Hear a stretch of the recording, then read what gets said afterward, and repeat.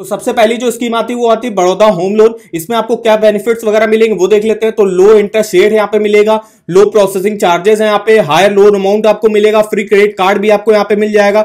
Longer tenure maximum tenure जो है, तीस साल के लिए आप ले सकते हो यहाँ पे। इजी टॉपअप लोन भी आपको यहाँ पे मिल जाएगा। अब इसके हम कुछ फीचर्स वगैरह देख लेते हैं। तो यहाँ पे लिखा है home loan product to suit every customer need के हिसाब से यहाँ पे होम लोन को जो है डिज़ाइन किया गया है। अब यहाँ पे होम लोन का जो अमाउंट होगा, वो अप्रूव होगा। लोकेशन वाइज की आप किस जगह पे लेना चाहते हो। और आपकी जो है इनकम वगैरह कितनी है, उसी के हिसाब से आपको जो है यहाँ पे होम लोन का अमाउंट दिया जाएगा। लो इंटरेस्ट रेट है लो प्रोसेसिंग फ़ीस है, कोई भी हिडन चार्जेस नहीं है, कोई भी प्री पेमेंट पेनाल्टी नहीं है। इंटरेस्ट चेंजेस और डेली रिड्यूसिंग बैलेंस है, तीस साल के लिए मैक्सिमम लोन ले सकते हो आप यहाँ पे। अभी यहाँ पे एलिजिबिलिटी क्या रिक्वायर होती है वो देख लेते हैं। तो रेजिडेंट जो है इंडियन और नॉन रेजिडेंट इंडिया दोनों ही लोग जो है यहाँ से अप्लाई कर सकते हो। मिनिमम एज जो अप्लाई करने की है वो यहाँ पे 21 साल है। को एप्लीकेंट अगर आप रखना चाहते हो तो उसकी मिनिमम एज 18 साल है। मैक्सिमम एज जो है यहाँ पे 70 ईयर्स तक की एज तक आप जो है लोन ले सकते हो। 30 सालों के लिए मैक्सिमम लोन ले सकते हो। अब लोन अमाउंट कितना मिलेगा? हर जो है सिटी वाइज देखिए, जैसे मुंबई में आप बीस करोड़ तक का लोन ले सकते हो। हैदराबाद, न्यू दिल्ली, बैंगलोर में आप साढ़े सात करोड़ तक का होम लोन ले सकते हो। अदर मेट्रो जो सिटी होंगी, उसमें पाँच करोड़ तक का अर्बन एरियाज़ में तीन करोड़ तक का सेमी अर्बन और रूरल एरियाज़ में मैक्सिमम एक करोड़ तक का, चंडीगढ़, पंचकुला और मोहाली में पाँच करोड़ तक का मैक्सिमम आप यहाँ पे होम लोन ले सकते हो। अब यहाँ पे इंटरेस्ट रेट एंड चार्जेस वगैरह क्या है? तो अगर आप तो अगर आप बैंक ऑफ़ बड़ौदा के कोई स्टाफ मेंबर हो तो आपको 9.15 से रेट ऑफ़ इंटरेस्ट की स्टार्टिंग होगी। और अगर आप नॉन स्टाफ मेंबर्स हो तो यहाँ पे 8.90 से स्टार्टिंग होगी फॉर सैलरीड के लिए। और 10.50 परसेंट तक जाएगा, वही नॉन सैलरीड के लिए 8.95 से स्टार्टिंग होगी।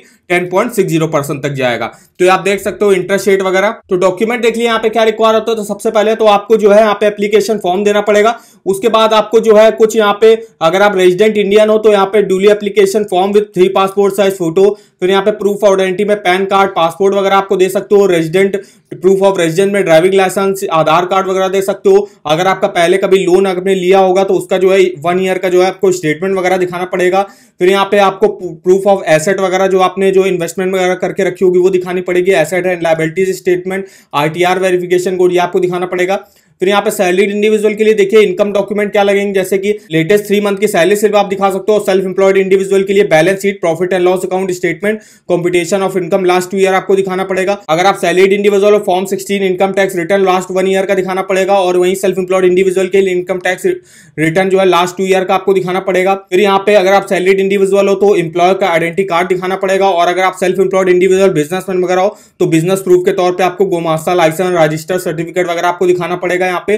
फिर यहाँ पे लास्ट सिक्स मंथ का जो है बैंक अकाउंट स्टेटमेंट आपको दिखाना पड़ेगा। तो ये कुछ डॉक्यूमेंट वगैरह रिक्वायर होते हैं और भी कुछ जो है प्रॉपर्टी रिलेटेड डॉक्यूमेंट वगैरह रिक्वायर होंगे कि आप जैसे कोई प्लॉट वगैरह खरीद रहे हो या फ्लैट वगैरह बाई कर रहे हो तो उसके लिए आप जो है यहाँ पे अलग अलग डॉक्यूमेंट वगैरह आपको यहाँ पे दिखाने पड़ेंगे।